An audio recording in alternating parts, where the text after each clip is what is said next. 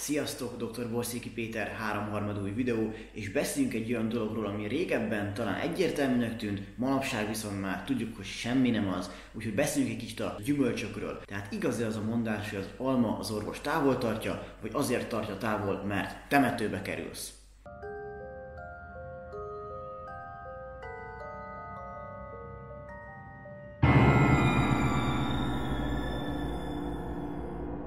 Ennek járjunk utána. Először is még nincs rendesen ö, berendezve a stúdió, szóval innen jelentkezek a nappaliból. Ö, nem tudom megmondani azt, hogy milyen lesz a hang, lehet, hogy egy kicsit visszhangzik, mert még az előző videóból ugye kiderült, hogy még nem rendeztem be teljesen a lakást, úgyhogy kicsikét ö, szellős, de majd megpróbálok egy kicsit utó munkával a hangon esetleg variálni, ha nem az igazi. Már meséltem nektek párszor, hogy benne vagyok egy pár fogyókúrázós Facebook csoportban, ahol tök jó ötleteket lehet látni videókhoz, mert annyi sületlenséget beszélnek emberek, és ezeket mindig játszottam nézegetni, és akkor elhatározom, hogy ebből csinálok egy videót.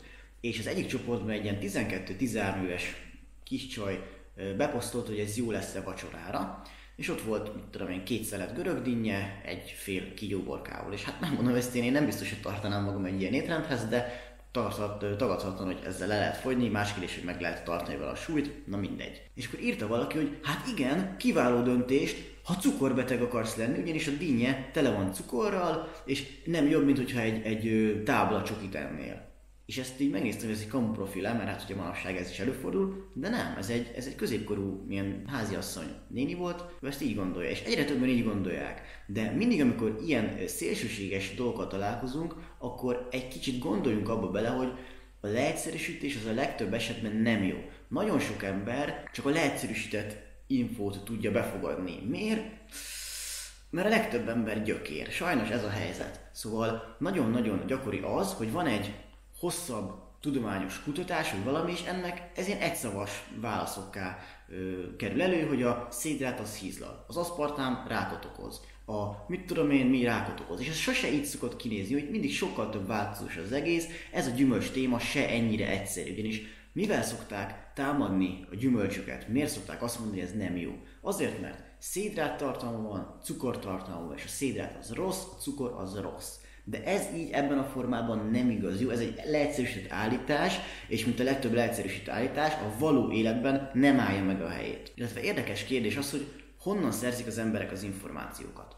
Hogyha rossz a kocsijuk, akkor hallgatnak a szerelőre. Hogyha rossz a foguk, hallgatnak a fogorvosra. Ha pedig táplálkozásról van szó, akkor a Marika néni azt mondta az ósamba, vagy a Bors hátlapján olvastam, vagy ő azt, azt mondta a fodrászomnak, a titkárnőjének a tengeri malaca. Tehát ezt nem értem, hogy miért van így. Annyi sületlenség kering az interneten, és ilyenkor mindig bele kell gondolni abba, hogy miért, miért nem a hiteles információkra hallgatunk, illetve az, hogy kinek áll érdekében. Ugyanis sajnos Manapság már mindenre ráépült egy egész iparág, és ezek az iparágak bizony millió forintokat, millió dollárokat, hanem milliárdokat költenek úgymond propagandára. Bizony ez így van. Ugyanez igaz a vegánokkal, a ketósokkal, és most aki vegán vagy ketós, ő ne vegye magára, mert nyilván nem róla van szó, de ott volt például a Game Changers című film, ami egy ilyen vegán propaganda volt gyakorlatilag. Tehát lehet jó egy vegán étrend, én nem azt támadom, félre ne értés ne essék, de hogyha vannak vegán cégek, ők megpróbálják a saját ö, ételeiket propagálni, és a nem ö, általuk forgalmazott termékeknek ö, aláásni úgymond a, a bizalmát az emberekkel szemben. Ugyanez a ketogén diétánál is. Ugyanis nagyon sok ketós honlapon lehet olvasni, hogy a gyümölcs az nem jó. És ez hülyeség, jó? És nem csak a ketós honlapokon, hanem egyre gyakoribb ez, hogy a gyümölcs az nem jó, mert szétrát van benne, mert cukor van benne de ez nem ilyen egyszerű, jó? Nagyon válogassuk meg azt, hogy milyen forrásnak hiszünk, és még egyszer nem a ketóval van a bajom, nem a vegán diétával van a bajom, bár én megmondom, hogy egyiket se követném, de el tudom fogadni, hogyha valakinek ez jó. Nekem pusztán azzal van a problémám, hogy egyes cégek bizony próbálnak profitot csinálni, minél több profitot, és ebbe az is betartozik, hogy a konkurenciát próbálják ellehetetleníteni. És a gyümölcsök is egy ilyen propagandának az áldozatául estek. Tehát vegyük sorjában, hogy azt szokták mondani, hogy azért nem jó a gyümölcs, mert magas a szédrát tartalma, magas a cukortartalma. Na most az, hogy magas, azért az elég relatív. Tény, hogy a gyümölcsnek a, gyümölcsnek a legeslegnagyobb százalékában szédrát van, de ez összességében nem jelent semmit, jó? Szédrát, cukor, glükóz, az kell ahhoz, hogy neked működjön az agyad, ugyanis neked az agyadnak az elsődleges, és az egész szervezetnek az elsődleges energiaforrása az a szédrát. Ha például ketogén diétát folytatsz, akkor ugye a ketonok végzik ezt a munkát, akkor ketózisban vagy, akkor neked úgymond a zsír lesz az elsődleges energiaforrás. De ez nem azt jelenti, hogy több zsírt fogsz fogyasztani, ez azt jelenti, hogy a bevitt táplálékok közül a zsírt fogja előnyben részesíteni, de persze, hogy ezt fogja, hiszen zsírt ettél, kénytelen lesz a szervezet azon működni. És a szervezet az egy nagyon okos mechanizmus, sokan ezt alábecsülik. Nagyon durván képes alkalmazkodni, hogyha a szédhető zsírt fehérjét eszel különböző arányokban, ezt azért a szervezet egészen jól tudja optimalizálni, de erről majd egy következő videóban. A lényeg, hogy önmagában az, hogy van be van szédrát, az nem jelent rosszat. Minden csak akkor hizzal, hogyha túl sokat viszel be belőle. Tehát önmagában nem a szidráttal való baj, hogyha túl leszed magadat. Viszont a legtöbb gyümölcs annak bizony alacsonyabb kalóriatartalma, ugyanis igen, még mindig a túl sok kalóriától hízunk, nem a szédrától, nem a cukortól, nem a zsírtól, a túl sok kalóriát. És a legtöbb gyümölcs, és most friss, ö, nyers gyümölcsökről beszélek, nem a szalványokról, nem gyümölcsléről, a legtöbb gyümölcsben bizony elég kevés kalória van, és hiába nagy része szédát még mindig kevés kalória lesz, és ennek ellenére elég laktató, ugyanis magas a rost tartalma is. A rost pedig különösen jó, mert segít az emésztésednek, segít a bérrendszerednek, eltelít. Emellett a gyümölcsök tele vannak vitaminokkal, ásványanyagokkal, emésztést, felszívódás segítő enzimekkel, szóval a gyümölcs az jó neked. Találtam egy netes kalóriatáblát, az értéket föl fogom tüntetni, hogy lássátok, hogy milyen kevés kalória is van tulajdonképpen egy-egy gyümölcsre. Most nézzük meg párat. Itt van például a görög dinnye. 30 kalória van 100 g-ban. Na most egy ember, hogyha egy nagyon, nagyon vékony nőről beszélünk, akkor is körülbelül lehet mondjuk 1500 kalóriát ahhoz, hogy tartsa a súlyát, vagy még fogjon is mellé. Na most kiszámoljuk. Azt jelenti, hogy ha csak görög dinnyét eszel, akkor 5 kiló görög dinnyét meg tudsz enni ahhoz, hogy te még mindig fogyjál. Hogyha valamiből megehetsz 5 kilót ahhoz, hogy fogyjál, akkor azt szerintetek nem fér bele egy rendes diétába? Tehát hiába úgymond magas a szédrát aránya, de ez a magas szédrát arány ez még mindig azt jelenti, hogy 7 g szédrát van 100 g dinnyében. Jó, és 100 g dinnye azért az elég sok, ugye nyilván, ha nem a helyet nézzük. Aztán nézzük meg egy másikat, például az egyik személyes kedvencemet mondjuk az áfonya, 46 kalória van benne, 100 g-jában 8 g szédrát, tehát ez semmi jó. A szédrától nagyon sokan még mindig félnek, de ez egy hülyeség, hogyha te keveset eszel belőle, nem fog hízlani, és még diéta mellett is mondjuk 150-200 g szédrátot is simán meg tudsz enni. 200 g szédrát az 800 kalória, az még mindig, az még mindig semmi, az még mindig csak a fele, úgymond a te kalóriabevitelednek.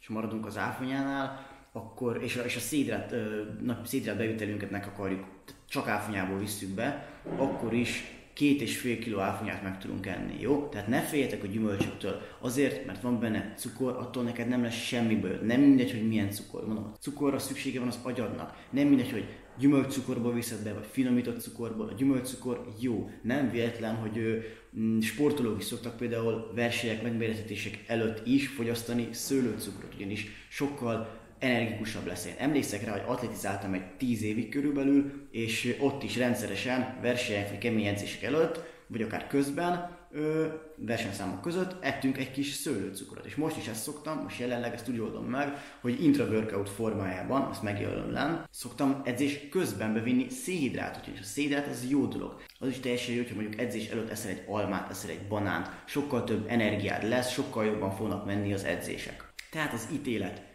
egészen nyugodtan fogyasszál friss, nyers gyümölcsöket, még a legkeményebb diéta alatt is. Minden a mértékről szól, de gyümölcsökből nagyon-nagyon sokat ehetsz meg, úgyhogy még mindig a célodnak megfelelően egyél. Szóval ne féljetek tőle, ne féljetek a cukortól, főleg a fruktosztól, nem, ne féljetek a szédráttól, csak mértékkel fogyasszátok. Mondom, nem tartozik ide a gyümölcsök közé kifejezetten az aszalványok, vagy gyümölcslevek, mi akkor is, hogyha 100%-os aszalt gyümölcsökbe sokkal több cukor van, sokkal több kalória van, de még azt is meg lehet oldani egyébként. Én is szoktam egyébként például aszalt datóját, áfonyát, mazsolát fogyasztani, de azért ezekkel jobban, ezekre jobban oda kell figyelni. A gyümölcslevekről most ne is beszélünk, az abszolút nem számít ide. A másik dolog, amit szerintem szeretnék kiemelni még egyszer a videóból, hogy ne hallgassatok az ilyen túlzott általánosításoknak, az ilyen kétszavas propagandáknak, legtöbbször nem fedi le a valóságot. A világban a legtöbb dolog az egy kicsit komplikáltabb bennél, mint hogy hogy fogy le, ne egyél szétrádot, hagyd el a kenyeret mit ne egyél hat után. Ezek, ez igazából mind bullshit is. Lehet, hogy valakinek működik, de ez nem lesz attól még reprezentatív, ez nem lesz attól még tudományos, ez csak egy népi megfigyelések, de ne a népi megfigyelésekre alapozzunk, hanem a tudományra jó, és én pedig mindig ilyen videókat készítek, amiket tudományosan alátámasztok, minden forrás megjelölök. Úgyhogy a gyümölcsel kapcsolatban utolsó végszó, egyetek nyugodtan gyümölcsöt, friss, nyers gyümölcsöt egyetek, amennyit csak szeretnétek. Jó, nagyon nehéz túl belőle, ha pedig te